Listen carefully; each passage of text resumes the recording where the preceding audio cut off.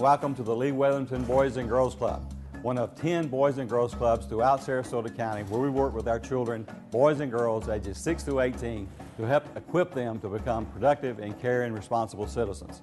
The Boys and Girls Club will be celebrating its 40th anniversary next year, and thousands of boys and girls have come through our doors and have become really involved in our community, both here in Sarasota and other locations where they live. We're very fortunate to have some great facilities for our teens that come in and participate, have a wonderful array of programs for them, a lot of activities where they can do and have fun. We never want to take the fun out of the Boys and Girls Club, but we also have programs like Money Matters, where we teach financial literacy to the kids. They come in and we have speakers that talk to them about the importance of saving their money, preparing for emergencies, making sure that their bank account is balanced, those kinds of things, how to prepare to go out and ask for a job.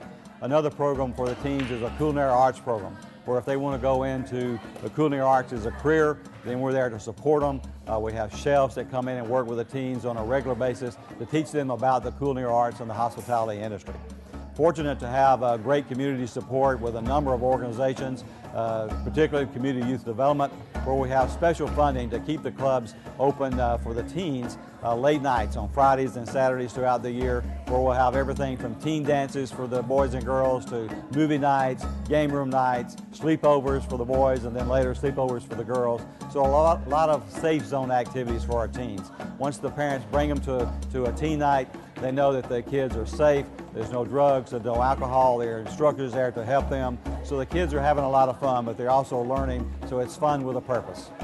We're in the technology lab currently for our boys and girls 6 through 12. We have a separate technology lab for our teens. And of course, we all know the importance of technology in today's world. We want to make sure that our Boys and Girls Club members are equipped to go out into the world and be able to handle all the different uh, technology applications that they'll come in contact with.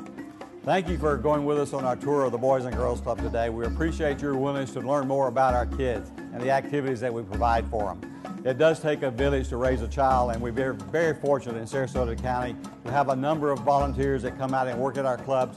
Please contact us. We have, uh, as I said, 10 different sites throughout Sarasota County, a lot of different ways that you can get involved and change the life of a child. The Boys and Girls Club is definitely the positive place for kids, and Sarasota is the positive place uh, for our adult citizens to live in as well.